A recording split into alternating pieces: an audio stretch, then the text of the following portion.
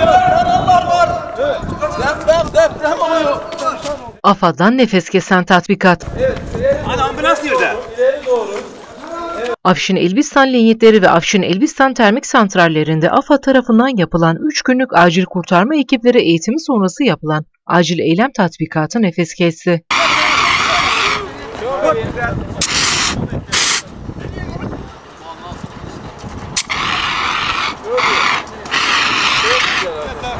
Tatbikatta senaryo gereği orta şiddetli bir deprem meydana geliyor.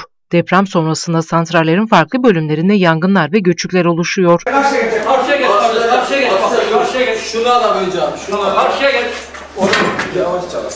Personel tehlikeli alanlardan tahliye edilerek toplanma bölgelerinde toplanmaya başlıyor. Hani ambulans nerede? Kısa süre içerisinde santral kriz merkezi kurularak acil kurtarma ekipleri hazır hale getiriliyor. Kriz merkezine gelen bir ihbar birçok atölyede yer yer yangınların çıktığı, içeride insanların kaldığını haber veriyor.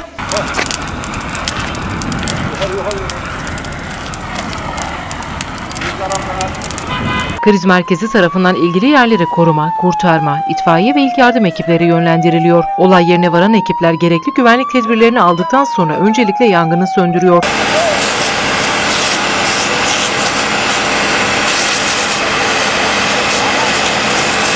Atölye içerisinde üzerine ağır metal parçaları düşen bir şahıs kurtarılarak ilk yardım ekiplerine teslim ediliyor.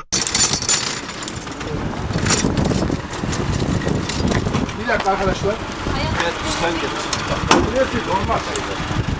Hasta ekiplerce hastaneye kaldırılıyor. Bu eğitimlerin e, amacı herhangi bir acil duruma ve afete karşı hazır olmak. Yani bir afet başa geldiğinde Allah korusun hemen kısa sürede buradaki imkanlarla nasıl müdahale edileceğini göstermek ve afetle insanların en az zararla kurtulmasını sağlamak.